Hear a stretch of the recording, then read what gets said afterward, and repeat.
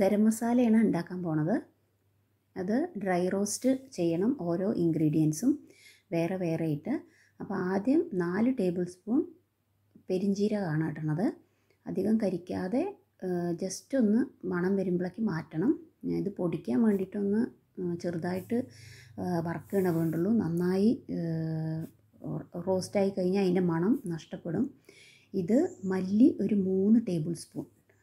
ഇത് ഞാൻ എന്റെ ഒരു രീതിക്കാണ് ഉണ്ടാക്കുന്നത് ചിലർ മല്ലി ചേർക്കില്ല.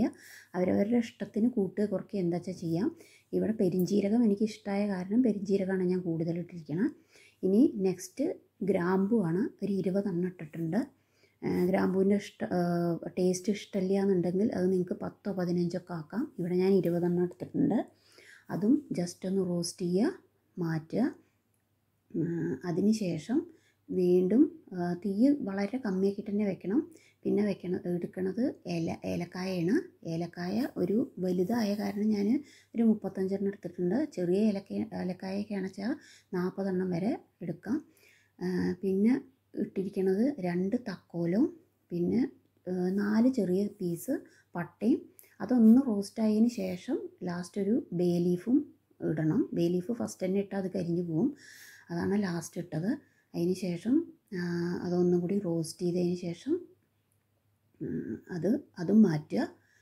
ജസ്റ്റ് ഒന്ന് ചൂടാവുക വേണ്ടുള്ളൂ അതിന് ശേഷം ഒരു ടേബിൾ സ്പൂൺ ജീരകം. നല്ല ജീരകം. നമ്മൾ സാധാരണ ഉപയോഗിക്കുന്ന ജീരകമാണ്. അത് ഒരു ടേബിൾ സ്പൂൺ ഇടണം.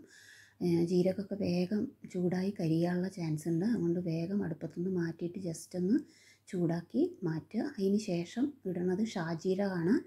ഷാജീരകം ഞാൻ ഇതിൽ ഇട്ടത് കാണിക്കുന്നില്ല. പക്ഷേ അത് ആണ് ഇപ്പോൾ റോസ്റ്റ് ചെയ്തിരിക്കുന്നത് ഷാജീരകം പറഞ്ഞാൽ ചെറിയൊരു ജീരകം ഉണ്ടാവും ബ്ലാക്ക് കളറിലായിട്ട് മസാല പൊടി ഇതൊക്കെ കിട്ടുന്ന കടയിലുണ്ടാവും.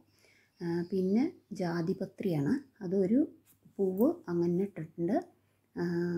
ജാതിപത്രിയും ഇങ്ങനെ മസാല പൊടികളും ഇതൊക്കെ കിട്ടുന്ന സ്പൈസസ് കിട്ടുന്ന കടകളിൽ കിട്ടും.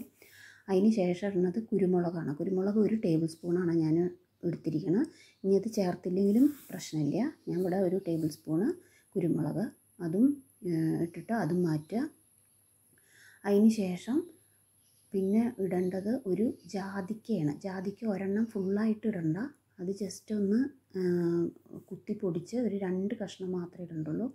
എന്താ വെച്ചാൽ ജാതിക്കയുടെ ടേസ്റ്റ് കൂടുതലായാലും കറിക്ക് അത്ര ഇത് വരില്ല. അപ്പോൾ രണ്ട് ചെറിയൊരു പീസേ ഞാൻ ഇട്ടിട്ടുള്ളൂ.